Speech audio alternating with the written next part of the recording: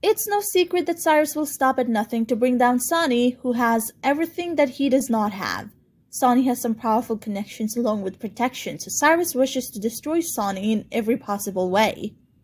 It seems that he has discovered another way to get back at Sonny. Clearly, Ava is close to Sonny, which is why Cyrus has been taking advantage of it.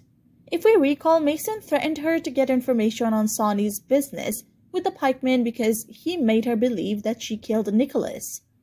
Of course, Nick was not dead and was being treated by Austin, who did not tell anything about it to Ava.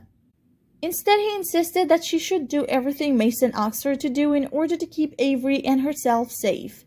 As a result, the two of them fell for each other after going through all the troubles together. He was indeed manipulating her on behalf of Mason and Cyrus, but he had also started to fall for her. He was trying to do all he could to protect her. In the end, Ava told Sonny everything and he arranged for Cyrus to be given false information on his interactions with Pikeman.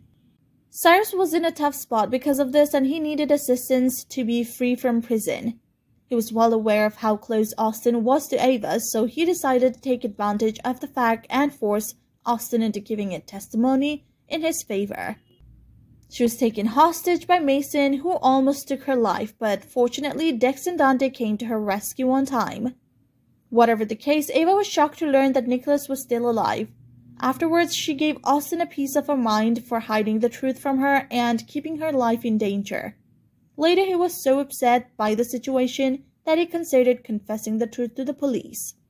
He also promised to give evidence against Cyrus, but then he was killed by someone mysterious. It looks like Ava is in a position to suffer the fallout of this. Mason has advised the police that they should look into her even though she is innocent, and she has no evidence to prove herself right.